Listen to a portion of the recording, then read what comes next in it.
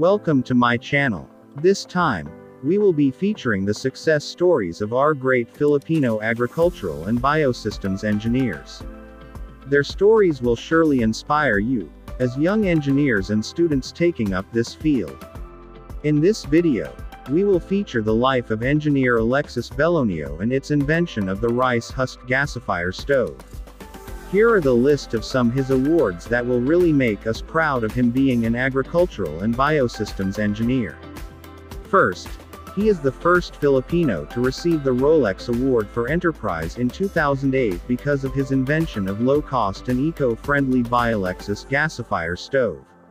Second, he was also awarded by Tech Awards International in San Jose, California last 2010.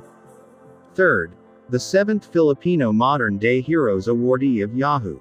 Philippines in 2011. And this 2020, he was awarded by the Manila Water Foundation for Engineering Excellence. He is also acknowledged as a world-renowned expert in the field of rice husk gasification technology. His invention has been adapted by different countries worldwide. To know more about his invention of the rice husk gasifier stove, let us all watch this. Ngayon, nakikita ko na really may solution. Gifted ang mga, Pilipinas eh. Kung mailalagay lang natin sa right perspective yon, ma-achieve natin. Ako po ay si Engineer Alexis T. Vilonio, Agricultural and Biosystems Engineer.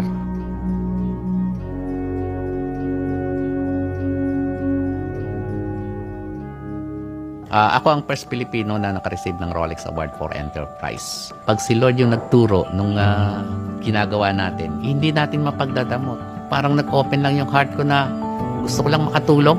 So, yun, senior ko, naging open source siya 2005 nung uh, start kong talagang i-develop yung Rice's Gasifier Stove. Ang technology na to gumagana sa pamaraan ng tinatawag na gasification process. Magagamit natin uh, pangluto sa mga dryer, uh, water pumping, mag-produce ng uh, ilaw or kuryente. Ito yung tinatawag nating gas burner. Gagamit tayo ng ipa na may halong plastic. Wala siyang amoy kung ang process is gasification. So sisindihan na natin. Habang bumababa yung apoy niyan, nagiging filter to, nagiging charbel. Ganun lang kasimple. Kaya nga problema natin dito sa bansa, eh, in a shorter time, may solution tayo.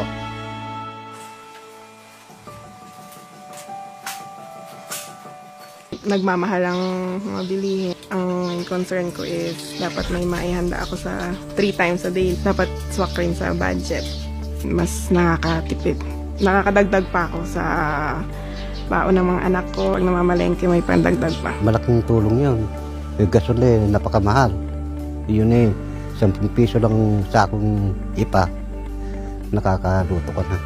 Nakapagluluto ka ng mga isang linggo, dalawang linggo. Yung nakakatulong sila sa environment dahil ah, itong byproduct can be used as soil conditioner sa ating lupa. Sa household, makaka-avail po talaga ng malaking katipiran. nire-respect niyo yung mga inputs para eventually mag-improve yung, yung progress at ma-deliver sa farmer.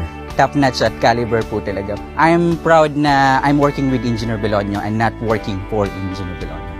Rapat rapat na makatanggap sana ng award si engineer. Yeah, I'm very thankful and uh, happy, proud. Malaking encouragement po. I'm praying na maging somehow I, I can I can be like him. Excellent, no? Engineer is you made pagparbiyan sa common. Pero alam niyo ba sikreto ng parbiyan? Si Lord ang sikreto. Pag nasa grace kasi tayo, nag-fall tayo doon, lahat may solusyon.